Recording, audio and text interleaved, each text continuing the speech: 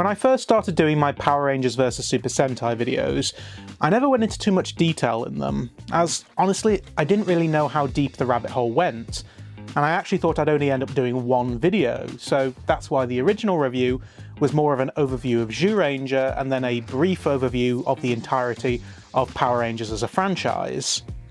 And the two that followed were short reviews of the Sentais and didn't cover too much of the American series. But as we've gone further into this, I've tried to give a full comparison of the Japanese show and its American counterpart, and it's frustrated me that I never went into enough detail about the franchise that kicked it all off. So it's only right that we go back and revisit the show whose name I can never pronounce, Kyoryuger Sentai Zyuranger. I know, I'm painfully British, I'm sorry. But Chaim Saban couldn't even pronounce it, so just roll back your anger a bit. This time we're doing it right. We're doing an all-in, full-fat, detailed comparison with Season 1 of Mighty Morphin Power Rangers, which happens to be where we start our journey, so let's go. The show starts on a planet, we don't really know which one, other than it can't be too far away from Earth, where two astronauts spot something shining in the distance. While they don't know what it is, one points out that it looks like a giant space dumpster. You know, a space dumpster.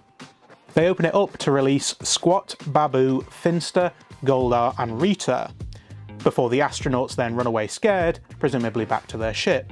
Don't leave! You'll miss my coming out party! Wow, Rita. That's very progressive to be that open in 1993. Good for you. I mean, you're also evil and want to destroy the Earth, but still, good for you. We then cut to a youth centre that is simultaneously a gym and juice bar, which couldn't be more, we're trying to be more wholesome than even Saved by the Bell is, if they tried. Which they did. We're introduced to Jason, Zach, Kimberly and Trini, who are all stupidly good looking and athletic, and Billy, who's a nerd. I mean, you've got to feel sorry for someone as nerdy as that.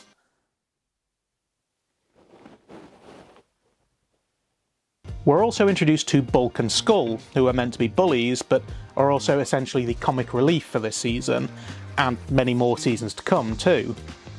Meanwhile, Rita has already reached Earth's moon and built a headquarters there. She's about to spend at least three seasons failing to do what she sets out to do, but in these four minutes at least, she gets done. She orders Finster to start making putty patrollers, although at this point we don't really know why they're called that. An earthquake hits and we get our first glimpse of Alpha 5, Zordon and Alpha's teddy bear robot. Which is definitely a lost merchandising opportunity if you ask me. Zordon asks Alpha to transport five overbearing and over-emotional humans, or teenagers. Again, we're not too sure why teenagers exactly, but we shall not kink shame on this channel. They're transported to the command center, which is actually a campus of the American Jewish University, which has been spliced onto a mountaintop. I guess that's a little Easter egg from Chaim Saban. Well, no, not Easter egg. That's not... Jew egg? No, that's Borat. You know what I mean. Once inside the command center, Zordon explains that he is an interdimensional being trapped in a time warp. Which if you've seen my Power Rangers in Space video, you'll know I have issues with. But anyway, he explains that Rita Repulsa is planning to conquer Earth and that the teenagers have been chosen to receive powers to lead the fight against her. With the use of their Dino Morphers, they will morph into the Power Rangers, each taking command of a Dinozord. We won't get into too many debates about whether Zords are named after Zordon. I still believe they are, but feel free to disagree. Interestingly, the first version of the American Morphers don't have the black lightning bolts, they're actually all silver. But they don't actually look as good as this, they're more like the toy versions. Except the toy version had Mighty Morphin Power Rangers written in the red bands rather than just Power Rangers. Even though the actual costume versions, which would be solid rubber, do actually have the black bolts. And in some episodes we even see close-ups of the Zyuranger morphers. Anyway, Jason, the Red Ranger, will command the Tyrannosaurus. Zach, the Black Ranger, just don't, we, we won't go there again, will command the Mastodon. Kimberly, the Pink Ranger, will command the Pterodactyl. Billy, the Blue Ranger, will command the Triceratops. And Trini, the Yellow Ranger, really, really don't, will command the saber-toothed tiger. The Dinozords can be combined to form Megazord, but our potential superheroes are not biting and leave. Meanwhile, Finster is still making putties, out of putty, and moulds them in a Monster-matic, which must have just been in space storage or something. And then the putties are sent down to fight. Now while Jason, Trini and Zack know how to fight, Zack with more of a dance-based version of karate, and Kimberly is gymnastic enough to fake it, they're no match for the putties, so morph into the Power Rangers, but are then teleported back to Angel Grove as Rita is sent down Goldar. And this is still awesome. In order to crush these new Power Rangers, Rita throws down her wand to supersize Goldar. The Rangers call their Zords, which seem to be an impossibly long distance away. And annoyingly, rather than fighting Goldar with their individual Zords first, they skip straight to Megazord. We get a brief look of what it can do in tank mode, but it enters battle mode quite quickly and begins combat with Goldar. And I'm just putting it out there, this still looks better than CG. Having the models and then the suit still looks good. The only cheap looking bit is when they call for the power sword and they hand switch to human hands wearing silver gloves. Before they can destroy Goldar though, he retreats and the first battle is over. Back at the command centre, Zordon lays out the basic rules. First, the Rangers must never use their powers for personal gain. Never escalate a battle unless Rita forces them, and finally, keep their identities secret. In episode 2, we learn that it was Rita that trapped Zordon in the time warp, and we also start to learn just how much of a genius Billy is. He's already managed to create communicators that work between the Rangers and the command centre, as well as also being able to teleport them there. The biggest thing though is that we get our first monster of the week. Finster creates the monsters out of putty, just like the putties, and bakes them in the Monster-matic to bring them to life.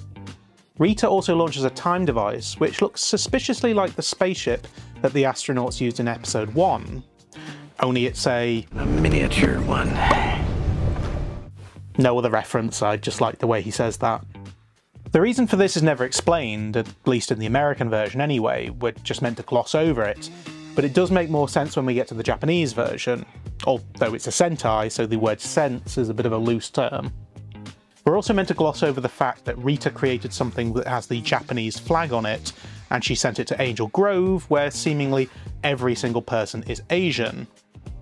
It's actually not very important to the overall story, but the only reason that it's really worth mentioning is that when I first saw this at 5 years old, none of it seemed that weird to me. But I shall continue to overthink things anyway because that's just what I do.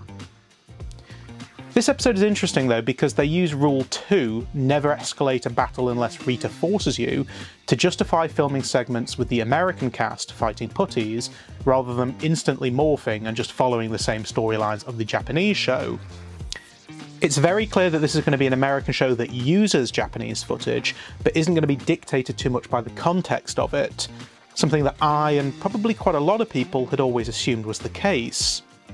This then sets the precedent for all subsequent episodes, and potentially to its detriment when looking at it with fresh eyes, because the other thing that this show does is that it starts to follow a simple copy and paste narrative arc in many of the episodes. Rita sends down a monster or putties, the Rangers struggle to handle them, so morph. The monster looks like he's going to be defeated, so Rita sends down her wand to make the monster grow, which makes the Rangers call their Zords. The Zords form Megazord, and the monster is defeated. This formula would be used over and over again, rinse and repeat, nearly every week. Which is lazy, but kids like repetition, and it became a worldwide phenomenon that even snared me, and I'm still talking about it nearly 30 years later, so I guess it worked.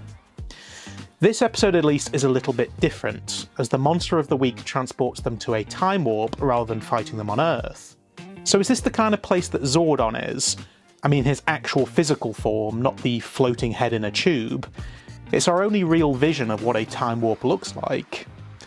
The idea of this is that Squat and Babu are to blow up the time device, definitely not a Japanese space shuttle, and trap them there. So again, is that how Zordon got trapped wherever he is? Rita just blew up his means of escape? It's here that we're introduced to the Power Blasters and also their dagger form. But then it gets very confusing, because Rita sends down a giant monster to Earth, presumably to cause destruction, but she also seemingly moves her headquarters to the top of a building, which the monster then punches a hole in it to somehow get to the time warp, and then pulls Jason out, but is then magically in a quarry. They clearly weren't too worried about putting too much thought into this episode, but at least I can answer my own question from the Jetman review. In that, the reason why it's always in a quarry is that Tokyo filming permits are too expensive, and also generally blowing things up there is usually frowned upon. I do love the old school force perspective techniques here. They really do work and they still hold up. Much better than CG does, even some series that are 20 years younger than this. I also love seeing the Tyrannosaurus fighting on its own here. You really don't get to see them fighting individually that often, but watching it back now highlights just how cool the Mighty Morphin era Zords were. All three seasons of them, particularly when the Zeo Zords were a bit weird, the Turbo Zords were all cars, and Power Rangers in Space didn't really have individual Zords to begin with. It's the Tyrannosaurus that probably gets the most individual screen time, until the Dragon Zord appears later in the season, that is, but we'll get to that. We do actually get to see a good amount of this in episode 3, with the Triceratops and Saber-toothed Tiger having tail guns, the Triceratops having horn chains, the Mastodon having a freeze attack, and so on. And I'm just going to say it, the Pterodactyl is the best Zord. It's basically a dinosaur fighter plane, plus it's tough enough to be the Megazord's outer armour. What could be better than that? Episode 3 also introduces the Rangers' individual weapons. Billy gets a power lance, Kimberly a bow and arrow, Jason a sword, Zack a power axe, and Trini power daggers. And there's no question what's the best weapon here. Zack's axe cannon is the best thing ever bring all the weapons together and they're able to destroy a, conveniently, now smaller, monster. In episode 4 they introduced the power crystals, but it's never really explained what these are for exactly. It's something about sending the essence of the other Ranger's powers to Jason, but then they're buried in a quarry, even though we literally just saw the Rangers produce them. I think it's got something to do with Zordon being able to transport the crystals to Jason, which then allows the others to join him, but it's all a bit confusing and now they're using the crystals like their joysticks for the Zords, even though they were able to control the Zords before this, and we literally see the crystals being used in episode 1. Being a 90s American show, they tried to add in some good moral storylines. For the kids. Like a deaf girl who's initially made fun of, but she's able to evade a hypnotising monster to help save the day, and Trini, in particular, is an environmentalist and is always trying to bring awareness to pollution and litter. In episode 7, we're introduced to Billy's new project, a modified Volkswagen Beetle that can fly and is capable of doing 0 to 3,000 miles per hour in under 3 seconds. Seriously, how is Billy still a high school student? He made a car that can fly and do Mach 4. Not to mention, he also manages to help a kid invent modern day VR. Not as big a deal, I admit, but the point is, Billy should be the richest person alive by this point. This episode is interesting because it shows Sentai footage in the viewing globe, but Zordon mentioned something about power eggs. These are meant to be of great importance, created by the Morphing Masters, and yet this is the only episode where they're ever mentioned. They're just used to set up the Monster of the Week battle, but again, the eggs will make more sense later. To be honest, nothing really significant happens until around episode 13, where we learn of a new power. The Rangers are able to combine the power of all of their coins in order to give one Ranger all the others' individual powers. It's been done in many other series, but it's usually the Red Ranger and we see more of a physically powered up version of him. But even then, not much really happens until we get to the all-important Green with Evil series of episodes. At a martial arts competition in the youth centre, a new kid has appeared as a rival for Jason. Rita spots him through her telescope and thinks he's the perfect candidate to become the new Green Ranger, an evil Power Ranger to counteract the powers of the other five. But before we get to that, the seeds are sown for a potential love story between this new kid Tommy and Kimberly. Rita sends down a few putties to test Tommy's skills, and after being convinced, she transports him to the moon and brainwashes him giving him the powers of the Green Ranger and the sixth power coin. It's never really explained why Rita has the powers of the Green Ranger, although that's what they began to lay the groundwork for in the 2017 movie. In that universe, Rita and Zordon were both Power Rangers, so she possesses the green power coin. With the sixth power coin in hand, Tommy is able to enter the command center and start wreaking havoc with Alpha and Zordon. With communications down, the Rangers take the Radbug to see what happened, only to discover the damage caused by the new Ranger, although no one knows it's Tommy at this point. Some of the recycling of footage becomes apparent here, because in episode 10 they talk about nasty night soldiers from another planet, but then they use the footage again when introducing the Sword of Darkness. They play the footage over Finster talking about the Nasty Knight defeating Zordon soldiers thousands of years ago, which doesn't make much sense as the sword can't be seen, but also it suggests that these aren't necessarily the original Power Rangers, because there's potentially someone who yielded Zack's axe before he did. However, that might act as an explanation for why Rita has the coin. There may have been a Green Ranger in the past, but the Nasty Knight defeated him, and Rita was presented with his sword, and also the power coin. That would have actually been better if they'd done that, because they probably could have used some of the Zyuranger footage when they're outside of their suits, and used it to create some more lore about Zordon and his first set of Rangers, before his eventual defeat and entrapment in a time warp. Although that's all a bit of a mess anyway, because it's never clear how Rita was trapped in the dumpster by Zordon, but Zordon was trapped in the time warp by Rita. How can both be true? And as a side note, this confirms the theory about Zordon and his tube. As they try to fix the damage caused by the Green Ranger, they attempt to locate a live feed for Zordon. He appears briefly trying to explain where he is. The audio is broken so you can't quite tell what he's saying, but he does say that he's in a certain sector of a certain system. We later hear Sector Q9, wherever that is, but essentially Zordon is physically somewhere and somewhen, but he's not in the tube, making the whole thing with in space as confusing as I always thought it was. There's an interdimensional power surge when trying to locate him, temporarily removing the Ranger's ability to morph.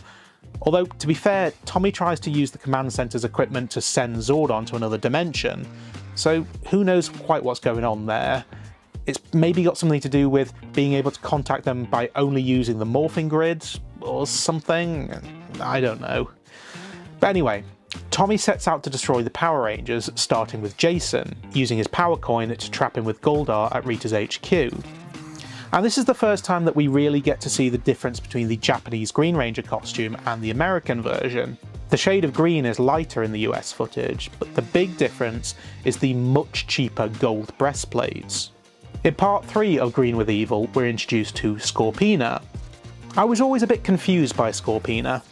Partly because it's like Kimberly was nice girl Sandy, but Scorpina was edgy Sandy, which for a five year old boy just starting to realise that he's straight was an interesting time for many of my generation's psychosexual development. And that's probably the first time I've used my psychology degree since I got it. But also, I think about everyone assumed straight from her introduction that she was Goldar's girlfriend.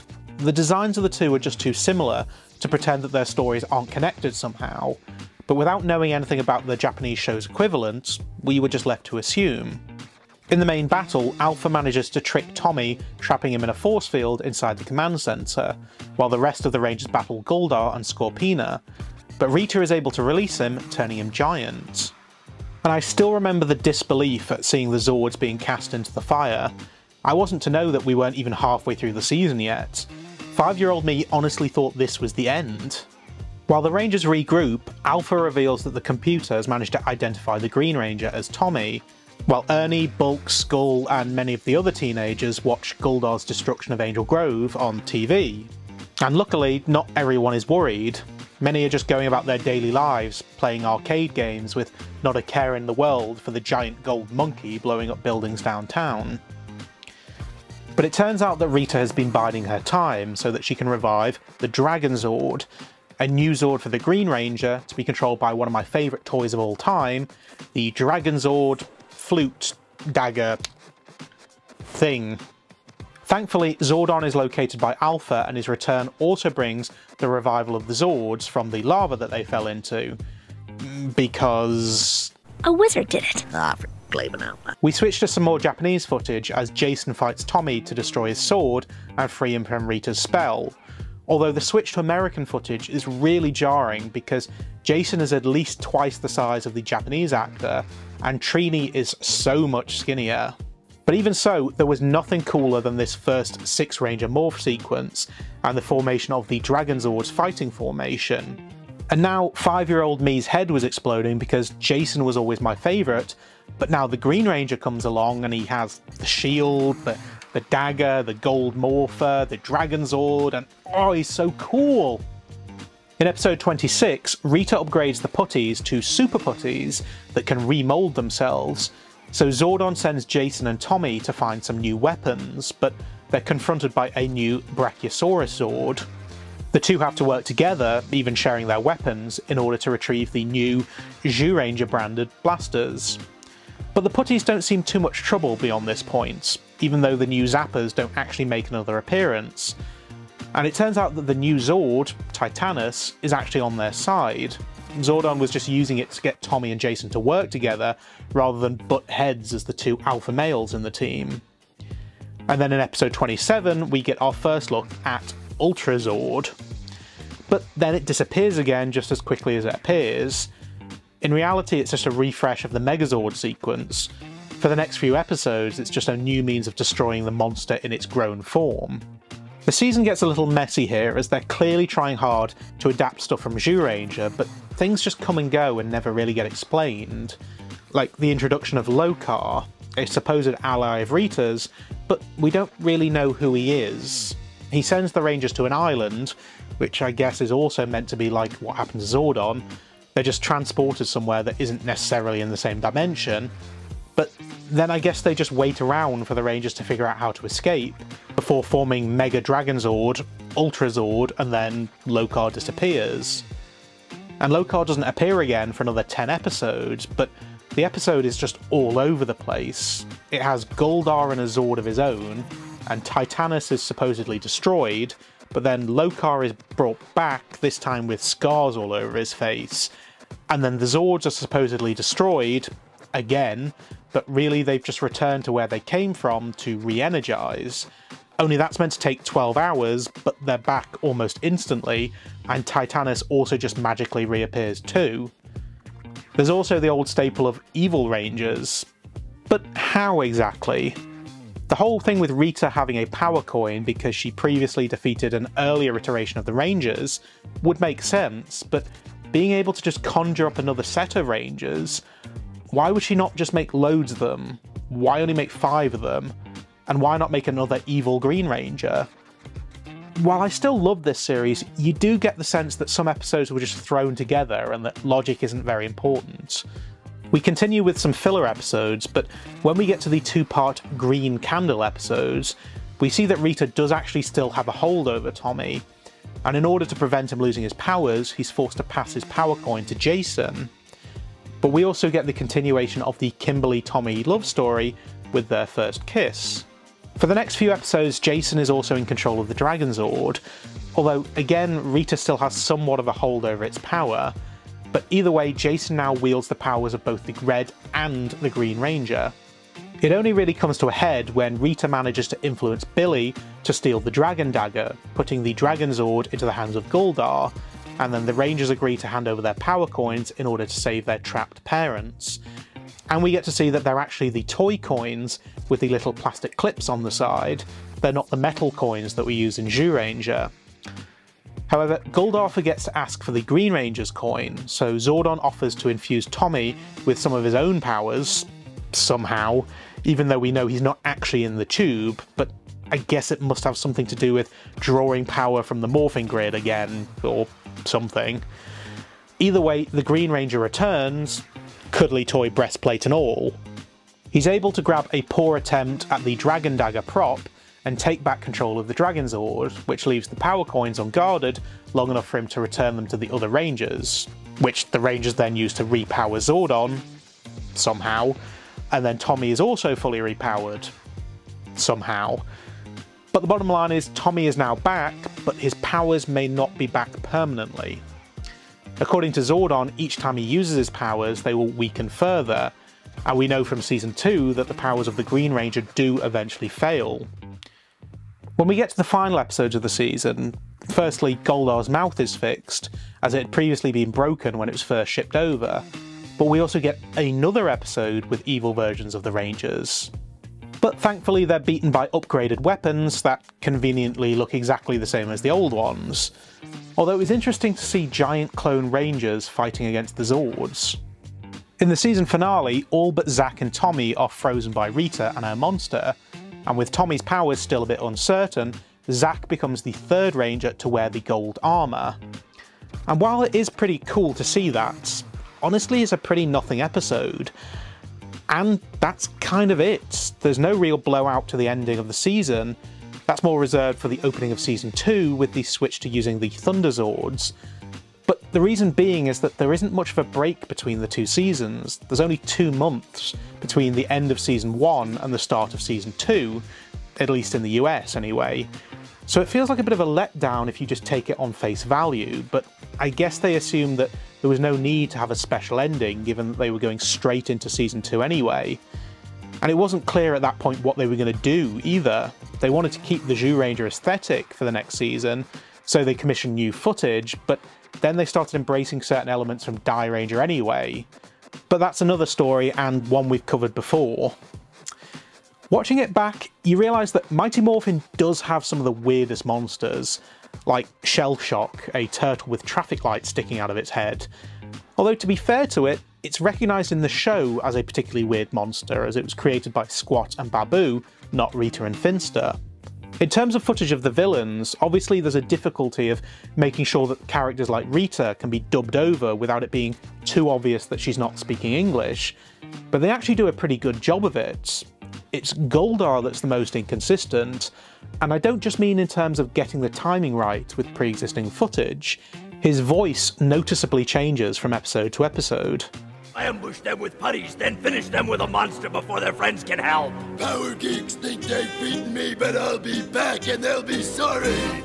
Although Zordon's voice also changes on occasion too.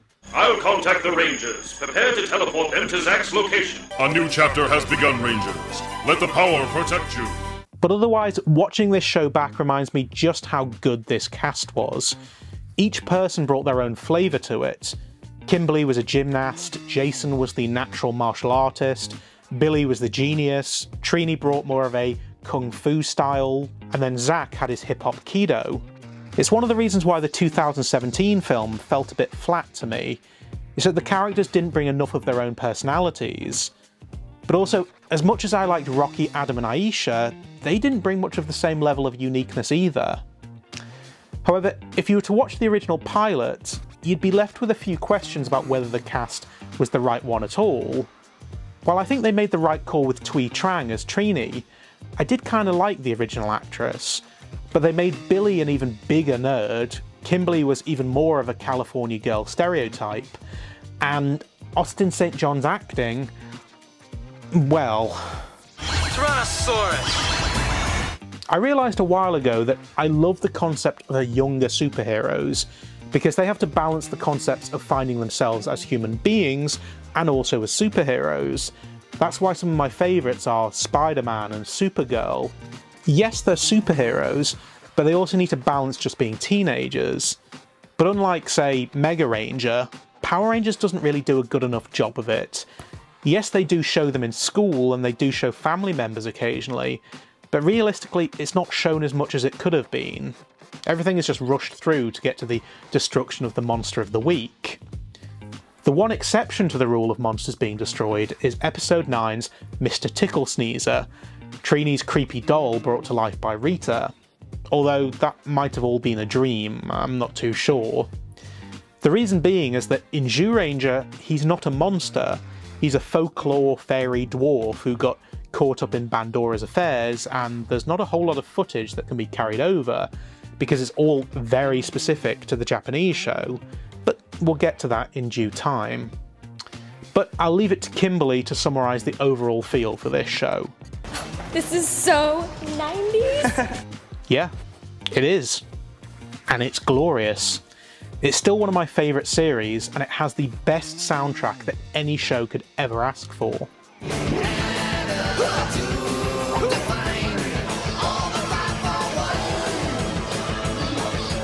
The thing is, though, it's 60 episodes long, and watching it all in one sitting, it kinda drags. But let's not waste too much time. Let's move on to see what Zyuranger has to offer.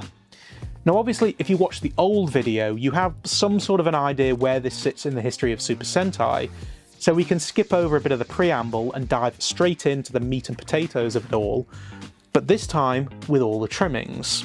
The series starts off with news of a Japanese space shuttle that has left Earth for the planet Nemesis, one that apparently comes close enough to Earth every 23 million years.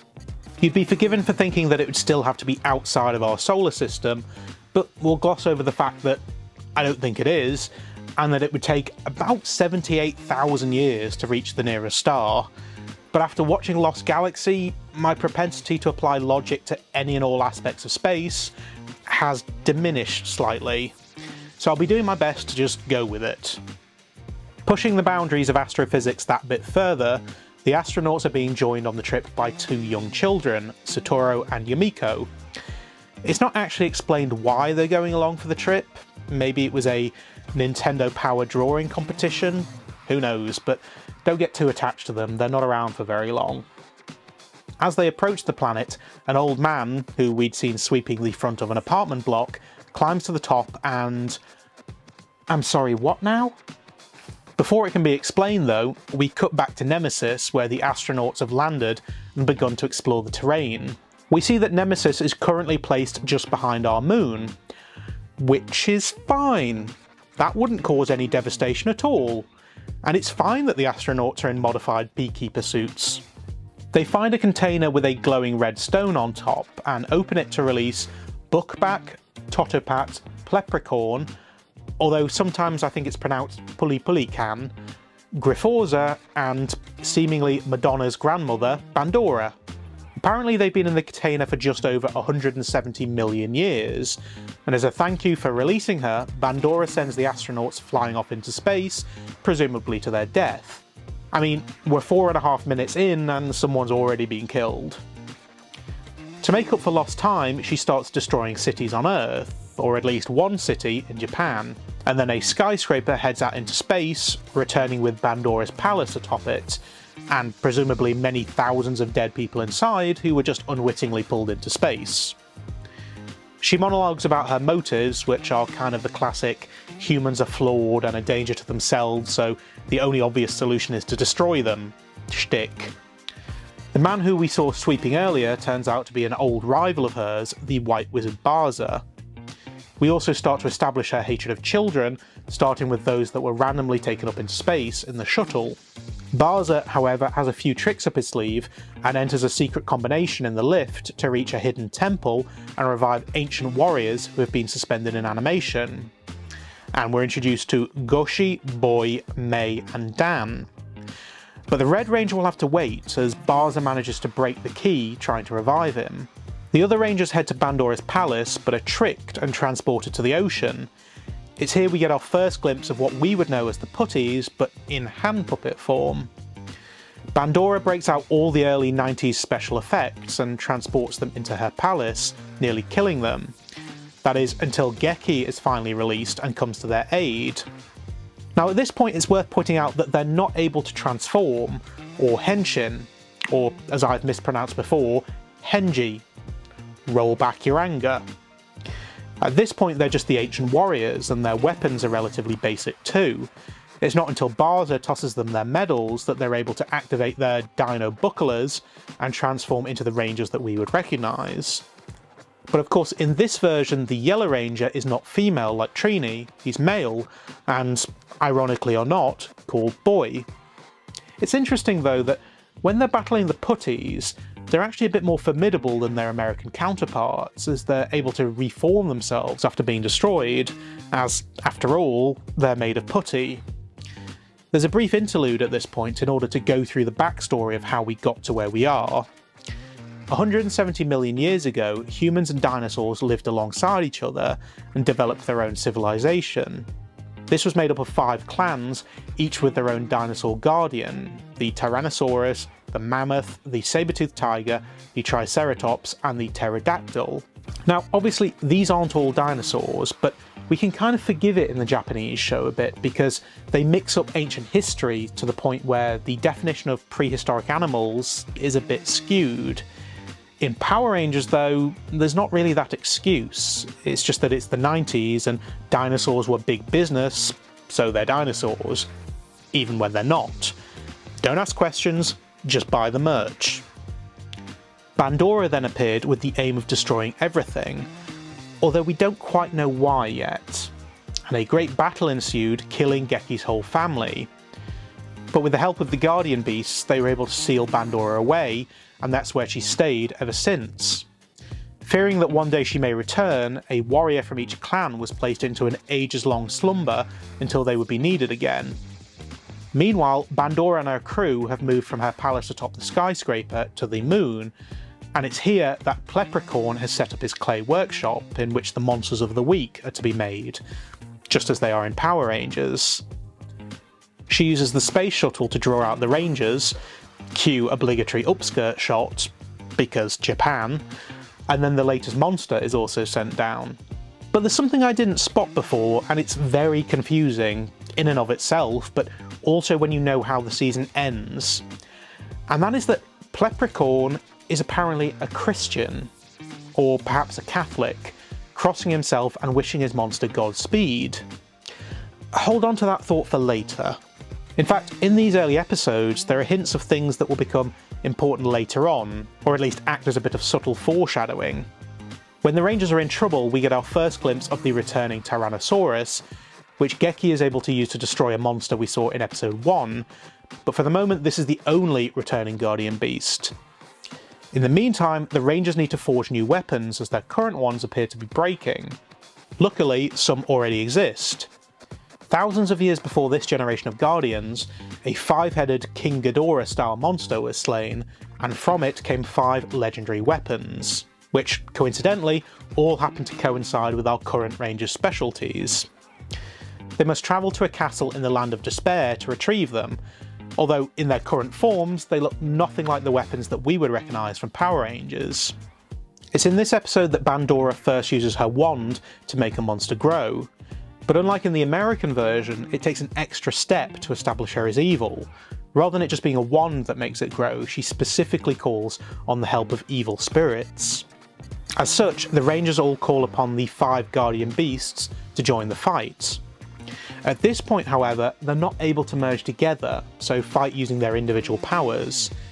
They manage to retrieve the weapons, but again at this stage, they're not the same as we would recognise. It's only when they transform that the weapons also are able to transform.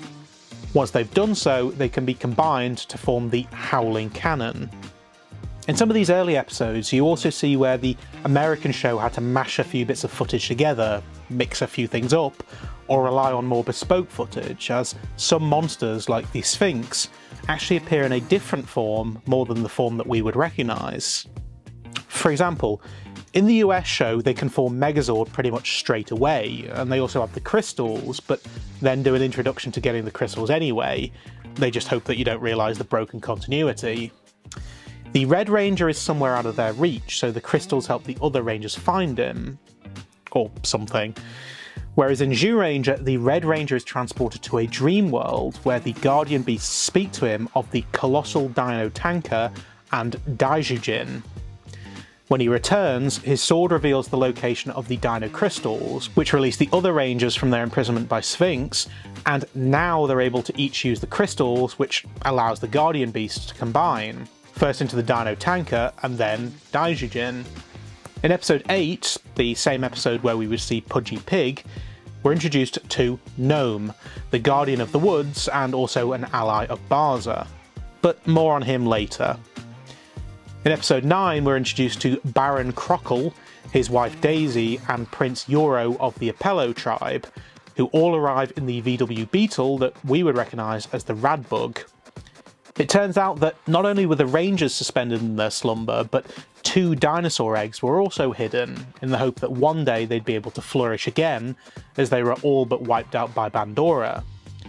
The tribe found the eggs, but Bandora came for them, so the Guardian Beasts appeared before them and informed them that they should seek out the Zyurangers. And again, there's some pseudo Christian overtones, as the people of this tribe aren't human as such. They were, but they were the guardians of a forbidden fruit, before being tricked into eating it by a monster, and were then punished by being turned into monkeys. Now they guard the eggs with the promise of being returned to how they used to be.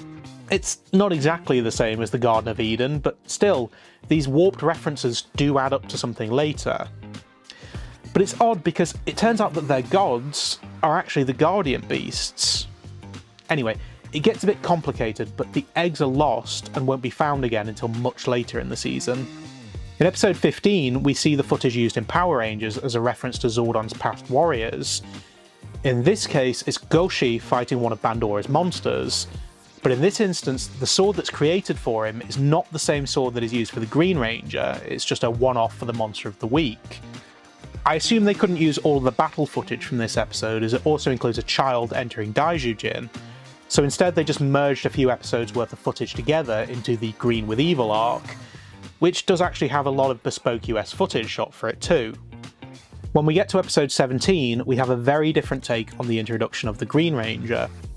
Gnome returns, but his grandson has removed a key from its hiding place. The key can be used to revive Borai, Sixth Ranger, who is still asleep. Only Gnome and Barza try to catch the boy as they don't want Borai to be revived, but they refuse to say why. Either way, Borai is revived using footage that we have actually seen in Power Rangers, but he immediately attacks the other Rangers. As a side note, he's referred to as the Dragon Ranger, as his guardian beast is a dragon, which, from a folklore point of view, actually makes more sense than the dinosaurs do. Although it's less clear where his dino buckler and other accoutrements came from, if he sealed himself away rather than a tribal leader.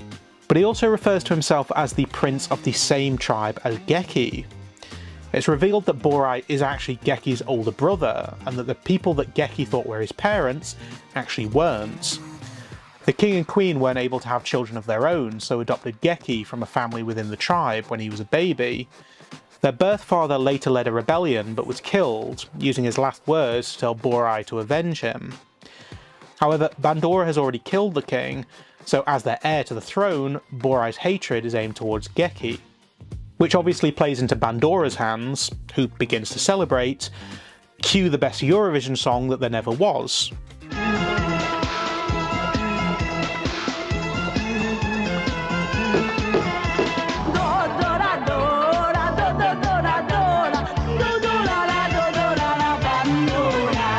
But the celebrations are premature as Borai is not interested in working with her.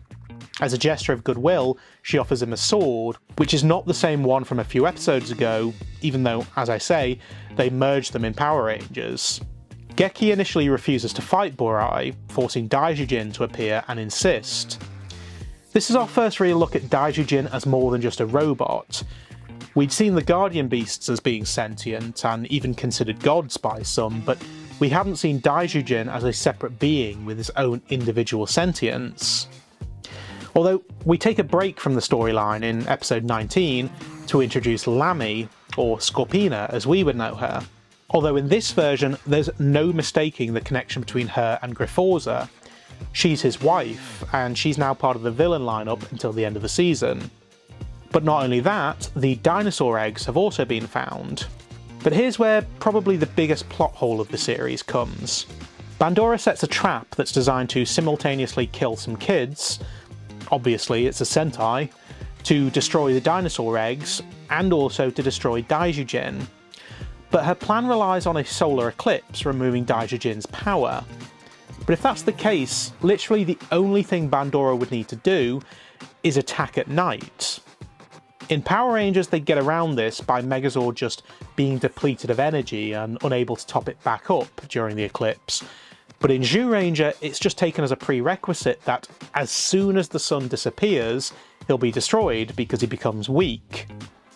But either way, Daijujin is actually defeated and falls to his doom. And although Borai has been tolerating Bandora up to this point, once Daijujin is out of the way, he tries to kill her so that he can take over Earth instead of her. She casts him down to Earth, but a spirit guide takes him to a time warp and informs him that he only has 30 hours to live. While inside the time warp, he won't age, but outside of it, time will continue to tick down. He also hands him his dragon dagger, which can be used to bring forth his guardian beast, Dragon Caesar, which is absolutely modelled on Godzilla. Insert cheap plug to go watch my Godzilla video. The thing is though, the Guardian Beasts then return because Barza appeals to the gods of the Guardian Beasts, even though the beasts themselves are sometimes looked at as gods. But that's not what actually brings them back. It's that they're not actually solar powered after all. It's just that solar energy contains something else that is the source of their power, but it's not exclusively found in solar energy. It's also, conveniently, found in large quantities in magma. So they weren't destroyed at all. In fact, they're arguably more powered up now. Which is dumb, but whatever, they're back now. And Geki is done with Borai and finally agrees to fight him.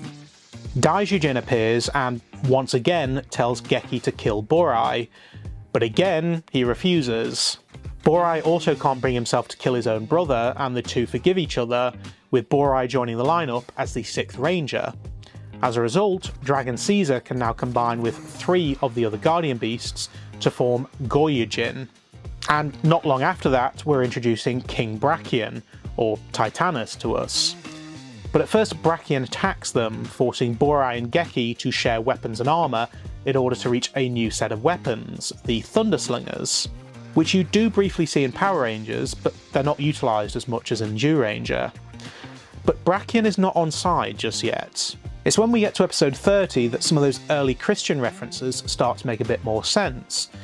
Because you see, the ultimate villain in this show is not Bandora, it's Satan.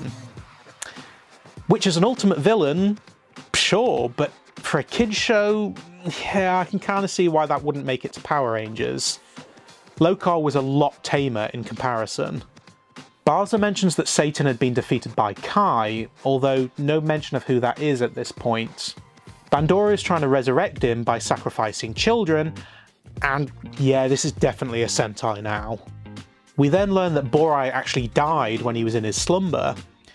Daijujin used the spirit to bring him back to life, but only a shortened life. In contrast to what Barza just said, Ku Klux Clotho explains that it was actually Ultimate Daijujin that defeated Satan, but he was injured and the six rangers are needed to restore him and combine with Dragon Caesar to form Jute Daijujin. It's here that Brachion does actually become part of the team and allows the rangers to form Ultimate Daijujin, the being that once defeated Satan and defeats him once again. But that's not the last we'll see of him. There's still 20 episodes to fill. And fill is the word, not much happens for the next half a dozen episodes or so. It's only in episode 37 that the dinosaur eggs resurface again, and they're entrusted to King Brachion. But it's not until episode 42 that Borai eventually dies. Bandora uses a monster to mimic some of the Guardian Beasts, drawing Borai out and destroying the room in which time stands still in order to run out his remaining time on Earth as well as also making everyone think that the Rangers are responsible for all the destruction of the city. He dies, passing on his shield and dagger to Geki, and his death leaves Dragon Caesar distraught and unwilling to submit to his brother. Although eventually Geki is able to wield the powers of both the Red and Green Rangers, just as Jason was. Although things don't get too much better when Bandora uses the old Sentai staple of imposter rangers to make everyone hate them even more. Although, thankfully, it's all forgotten by the end of the episode because plot convenience. Anyway, we fast forward to the end of the season and the return of Kai, the being that we originally told defeated Satan, but he didn't because that was Jesus. I mean, Ultimate Daijujin. Wait, does the Bible have Megazord in it? I mean, Barza finds an additional book that talks about a final battle between the gods and Satan that causes an apocalypse. So basically, he finds the Book of Revelations, but with dinosaurs. But as it turns out, this is actually the plot twist that we've been waiting for all along, because Kai is Bandora's son. Back in Dino times, he was being a and breaking dinosaur eggs, until the mother came along and he ended up falling to his death. Kai's mother, who became Bandora, sold her soul to the devil in order to revive her son. As such, she is cursed to be a witch for all eternity. It also explains her hatred of dinosaurs and children. But of course, anyone who's seen Bedazzled will be able to tell you that the devil has a way of turning your wishes against you, and although Kai has been revived, he has no love for his mother, only Satan. And although it initially seems like Bandora has defeated all of the Guardian Beasts, the spirit of Borai appears, definitely not dangling on strings, and tells the Rangers where to find them. With the formation of Ultimate Mega Jesus, both Kai and Satan are defeated. With Kai's death, Bandora's bond to the devil is broken and she loses her powers. Daijujin then seals her away once again and casts her out into space. And not only that, her hatred of children is also broken when Lammy and Grifforza announce that they've had a baby. Brachion then returns the eggs, just in time for them to hatch and a new age of dinosaurs, or at least Tyrannosauruses, can begin. With their jobs complete, Barza and the Rangers ascend to heaven, so I guess they kinda were Easter eggs after all. I mean, in many ways, the show carries a very Christian message, even down to more subtle things like a monster who isn't evil being tricked into fighting the Rangers, and then they take the time to bury it afterwards and adorn the grave with a cross. There's also the reference to the Garden of Eden, people are praying to God, and the ultimate morals of the story are that making deals with the devil will always backfire and that love will always prevail. You'd be forgiven for thinking that the show was actually specifically designed to carry a pseudo Christian message, but it could also be that they were using references to Christianity as just another form of folklore inspiration.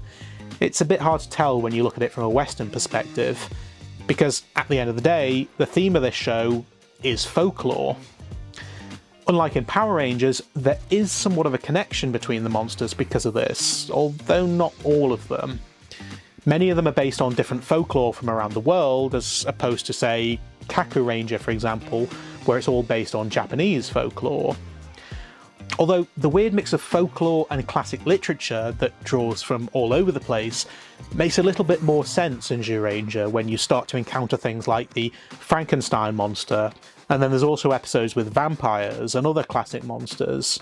Power Rangers gets away with it by using it as an excuse for a Halloween party themed episode, but it still stands out.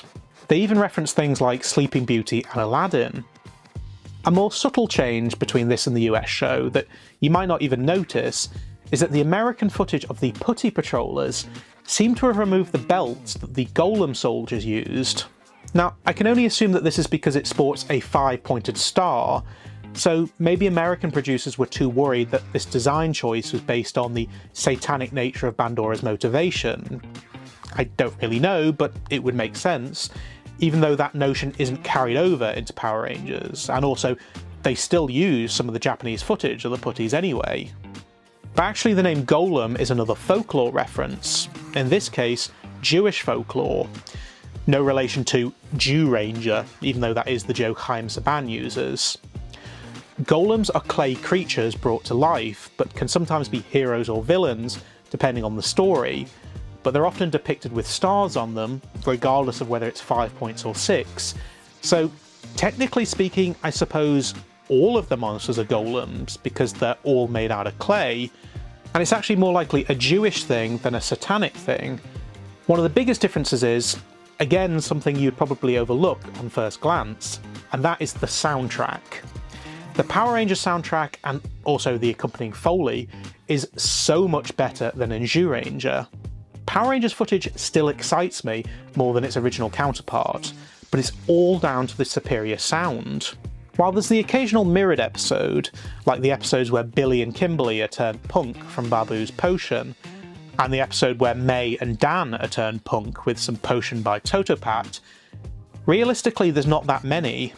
Obviously the monsters are more or less the same, but there's not a whole lot of storyline crossover, and it's actually quite strange how much they don't use. For example, there's loads of footage of Lammy, or Scorpina, that could have been used, but they never do. Considering they had to commission new footage from Japan anyway, it seems a bit of a waste that they don't use all that they could. And as I mentioned earlier, in Power Rangers, they seem to use the toys as their morphers, and in Zyuranger, the Dino Bucklers also appear to be the toys, but when a close-up of the coin is required, they swap it out for something a bit more substantial. So even though they're using something cheap and plastic, they're able to make it seem a bit more impressive for certain shots, which is something Power Rangers didn't do. One thing that does seem weird is that Grifforza, or the Japanese Goldar, is unable to speak for a large proportion of the show, and even when he does get the ability to speak, he hardly uses it. Hence why we have the footage of Goldar with a broken mouth, as there's a severe lack of footage from Zyuranger. And while the actor who played Borai had actually been in Sentai before, for much of this series, Borai's time is limited, so footage of him is also limited, which is tricky for Power Rangers because Tommy became one of the most popular characters. So, as before, Power Rangers and Zyuranger are nothing alike. There's no denying that the Japanese show has more depth to it. Power Rangers is a fairly rinse and repeat show, but I'm not sure the whole folklore thing really does it for me. Don't get me wrong, as a Power Rangers fan, I still enjoyed the show, but comparing it to others that we've covered now, it's not my favourite. But either way, if you were a fan of the original series, I'd still say that Zyuranger is mandatory viewing. But you know what? Before we wrap this up, there is one more thing we need to mention, and that is a home video release from Japan. This is essentially a clip show and kind of a marketing video too, that is fronted by a hand puppet called Dino and features all of the Rangers talking through the season. There's not a whole lot to mention about this apart from the fact that all of the Guardian Beasts seem to have their own theme tunes.